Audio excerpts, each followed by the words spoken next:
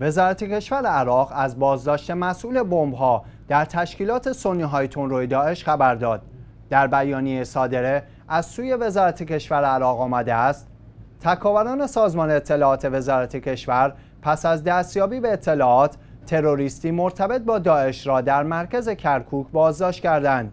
در ادامه این بیانیه آمده است که این تروریست پست هایی در گروهک تروریستی داعش داشته که آخرین آن مسئول بمب ها بوده است.